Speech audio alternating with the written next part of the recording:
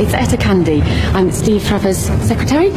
What is a secretary? I go where he tells me to go and I do what he tells me to do. Oh, well, where I'm from, that's called slavery. I really like her. Fantastic. Oh, Ladies, after you. I do. I like her.